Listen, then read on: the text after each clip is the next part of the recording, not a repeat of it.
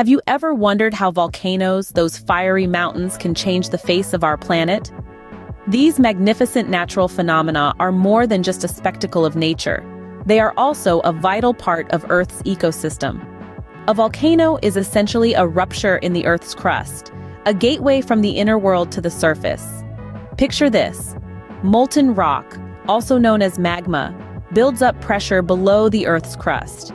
When the pressure becomes too much, it finds a weak spot and bursts through in a spectacular eruption of rock, debris, and gases.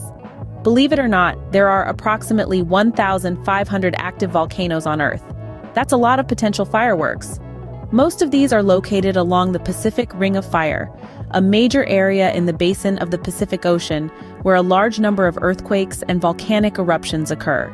So volcanoes are not just about fiery eruptions, but they are indeed Earth's natural recycling mechanism.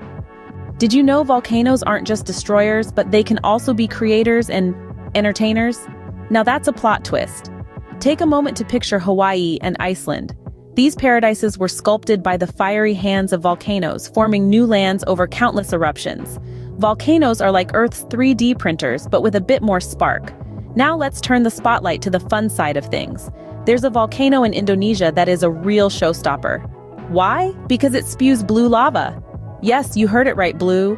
This surreal spectacle is due to a high concentration of sulfur. So it's not a science fiction movie, just Mother Nature pulling off her extraordinary tricks. Lastly, volcanoes are Earth's unsung heroes in the carbon cycle, helping to balance the global carbon dioxide levels. Additionally, they enrich soil fertility, contributing to lush landscapes. So the next time you see blue lava, remember, it's not an alien invasion but a sulfur-rich volcano doing its thing. Now let's delve into the darker side of volcanoes, shall we? Volcanoes are not just fascinating natural phenomenons, they're also incredibly destructive. Picture this. It's the year 79 AD and Mount Vesuvius erupts in a display of terrifying power, burying the cities of Pompeii and Herculaneum under a thick coat of ash and lava. The devastation is unimaginable, the loss of life profound. And here's a scary fact for you.